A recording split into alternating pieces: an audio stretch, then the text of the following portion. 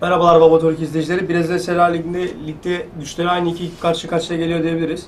Santos ve Ponte Preta bu hafta karşı karşıya geliyor. Ponte Preta geçen hafta evinde Sport Rafike ile karşı karşıya geldi ve sahadan bir birlik beraberlikle ayrıldı. Santos ise ligin lideri Mineiro ile karşılaştı ve 2-0'lık e, mağlubiyetle döndü evine. Bu karşılaşmada ben e, iki takım da sonuçta ligin kötü ekiplerinden yani vasat ekiplerinden diyebiliyorum. Çünkü ligde kötü futbol oynuyor ikisi de. Maçlarını izliyoruz. E, bu karşılaşmada taraf bahsinin e, yanlış olacağını düşünüyorum ve e, karşılıklı gol var seçeneğini sizlere öneriyorum.